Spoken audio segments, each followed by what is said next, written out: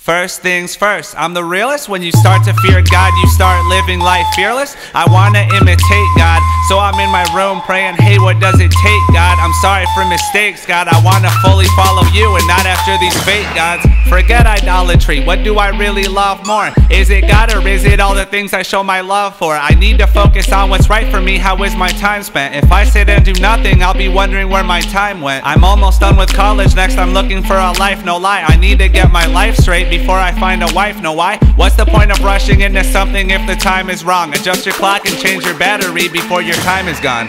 Yeah. Oh, hey, what's up, man? Hey, what's up, man?